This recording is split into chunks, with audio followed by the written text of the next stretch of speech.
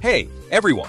Welcome to the TenorShare channel. If you're looking for a completely free and easy way to annotate PDFs on your Windows 10 or 11 computer, you've clicked on the right video. Whether you're a student highlighting notes, a professional reviewing documents, or just someone trying to fill out forms, I'm going to show you exactly how to do it, step by step. Let's jump right in.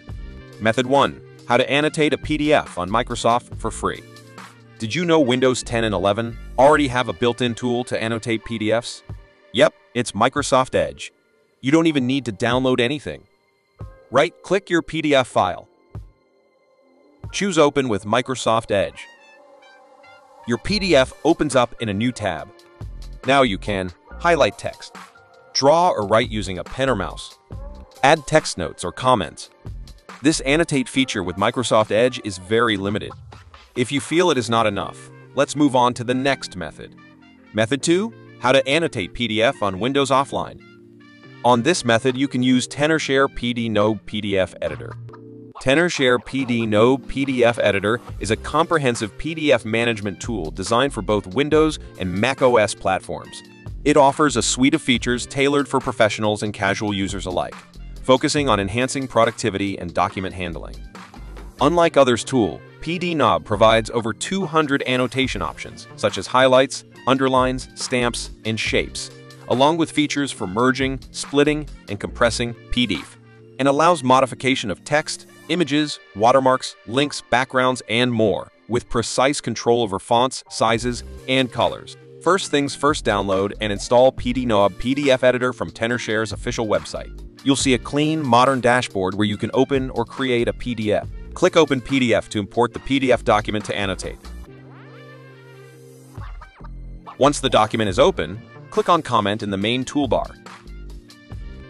Here, you will see various annotation tools including highlight text, strike through text, underline text, and stamps.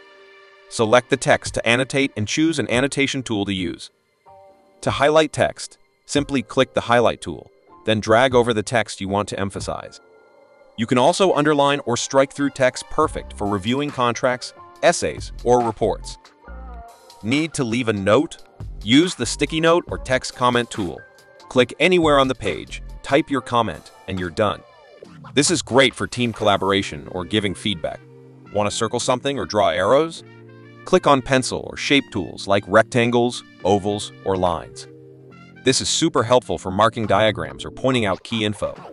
You can even add a handwritten signature. Just click on the Signature tool, create your signature, and place it anywhere on the PDF. Now you know how to annotate PDFs like a pro using TenorShare PDNob PDF Editor.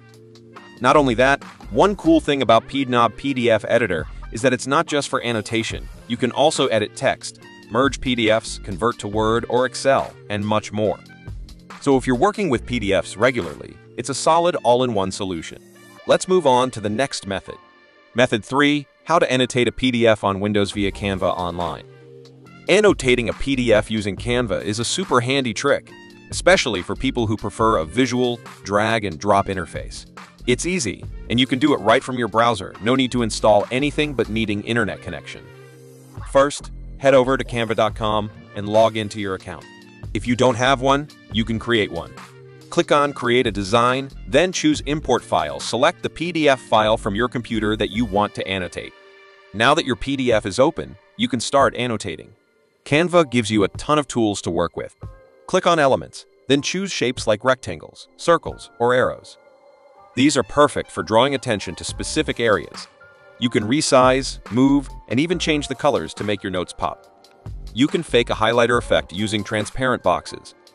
Just add out a rectangle, change the fill color to yellow or any highlighter color, and reduce the transparency.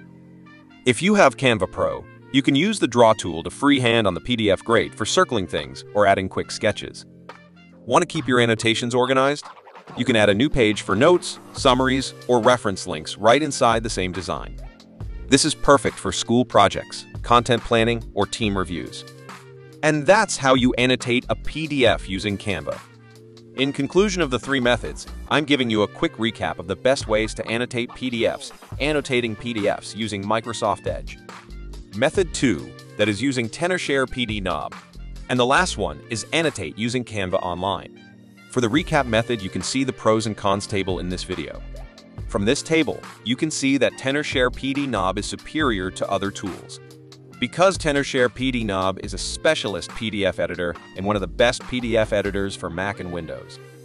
That's it. Now you know how to annotate PDFs on Windows 10 or 11 without spending a single cent. If this video helped you, make sure to like, subscribe, and drop a comment if you have any questions or if you have your own favorite free PDF tool. Thanks for watching, and I'll catch you in the next one.